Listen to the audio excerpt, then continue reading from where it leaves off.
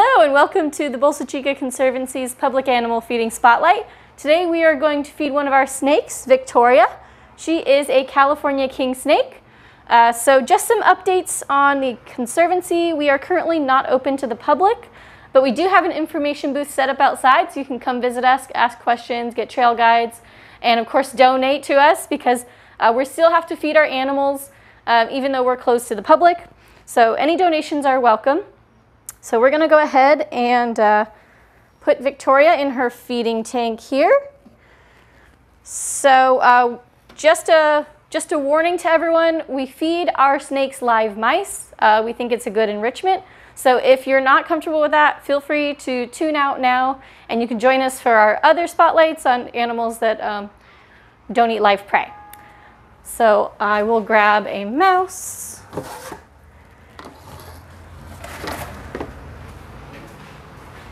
So we feed our snakes in a separate enclosure from their home so that they don't associate their house with food.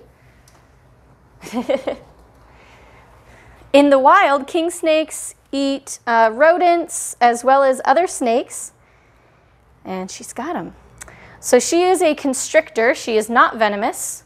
Uh, so what she'll do is wrap up her prey and then um, eat it once it's been suffocated. So she is not venomous, but she is actually immune to rattlesnake venom.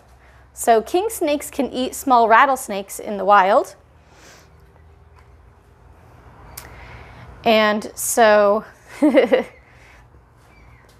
there are different methods for eating with snakes. There are venomous snakes and constrictors like Victoria here. Um, so the constrictors will do this where they catch their prey and constrict it. Uh, the venomous snakes will bite them and then follow them until uh, they've succumbed to the venom.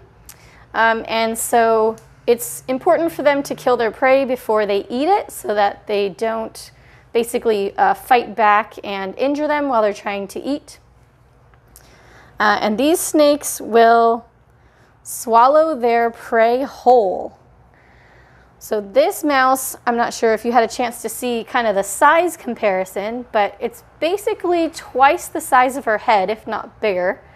Uh, so you can imagine how hard it is to eat something that's bigger than your head, and these guys don't have any arms or utensils to eat their food. Uh, so they have adapted to be able to eat these large prey. They have a very interesting anatomy. So their jaw is able to open really wide, um, and that is in part due to their bottom jaw having two separate bones instead of one bone like ours is. Uh, they also have a different kind of configuration of their jaw, um, so it can open much wider. Uh, their scales are very stretchy, so they're able to squeeze the little mouse in there.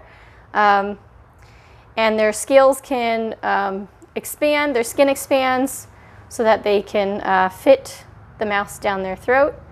Uh, they have a very interesting internal anatomy, as you can guess. They are an oddly shaped animal. They're long and skinny, so a lot of their organs have to be um, adjusted for that. So they actually have a really long esophagus, which is the part that connects your mouth to your stomach. Uh, so the mouse will go almost halfway down the body before it gets to the stomach. Uh, they also have basically only one functioning lung. Since it's long and skinny, their lung is just a really long and skinny um, organ, and this helps fit into their strange shaped body. Uh, most of their body is just muscles and backbone. It's mostly what a snake is made of. Um, and so their jawbone we mentioned earlier is two separate bones, and that also helps them to maneuver their food when they're trying to uh, swallow it. So right now what she's going to do is, so the mouse is no longer alive, and she can sense it by um, the feelings. She can feel when the heart is no longer beating.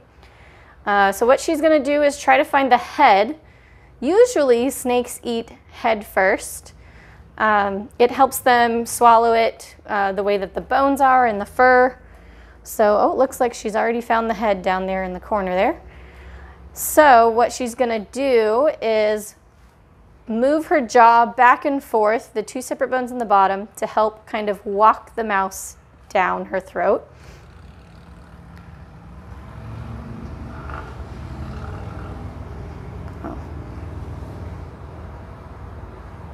Won't let me turn it. oh, there we go. So she's got herself in a nice little pretzel here, so it's kind of hard to see what she's doing. Uh, but she is starting at the head first. Um, I'm sure she will untangle and show us a little bit. Uh, but she will digest the whole mouse, the bones, the fur, all the organs. Uh, so some animals can't digest bones and fur. Animals like birds so um, raptors and owls, they will actually regurgitate or throw up the bones and fur portion of the animal in a pellet. Um, so now we can get a little better look. She's going back and forth. You can see her head going back and forth. is how she's moving those two bottom jaw bones to help her swallow this giant mouse. and a little bit about the senses of snakes. Uh, so their strongest sense is actually their sense of smell. Uh, for people, it's our sense of vision. We use that mostly to interpret what's going on in the world. Uh, but snakes rely mostly on smell.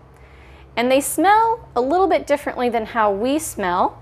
Uh, they actually have a special organ at the top of their mouth called a vomeronasal organ and that helps them use their tongue to smell. So when they're flicking their tongue in and out, they're actually smelling the air, and that organ helps them uh, convert those chemicals in the air to a sense of smell. And if you've ever noticed that a snake's tongue has two parts on the end, it has a fork on the end, uh, that's how they can tell the direction of the smell. So just like we have two ears, we are really good at telling the direction of sounds, uh, snakes are really good at telling the direction of smells.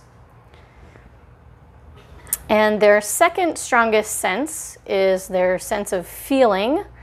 Um, so they can feel vibrations from people walking on trails or from mice. Um, so they'll usually uh, tell, they can usually tell if when you're there before you see them. So that's why snakes aren't super common to see out on the trails. Out here at Bolsa Chica, we do have California king snakes out on the trails, like Victoria here. Uh, we also have gopher snakes, and we do have venomous rattlesnakes. So um, keep your eyes and ears uh, peeled for that if you're out on the trails. Especially in this hot weather, they like to come out and uh, sun themselves on the trails, so be cautious. So we, look, she is a very fast eater. You guys are lucky today. Uh, so she's down to her, her uh, little spaghetti tail. And you can already see where the mouse is behind her head, kind of going down. And if you look real close, uh, she is moving her body in an S-shaped motion right behind her head. And that's another way that they can help swallow their food um, it helps kind of push the mouse down through her esophagus. So now she's all finished with that and uh, we will let her uh, digest her food a little bit before we pick her up because snakes are capable of regurgitating their food and that's not fun for either of us. Uh, so just want to say thank you for joining us for our animal feeding spotlight and we hope you can join us next week. Uh, take care and stay safe.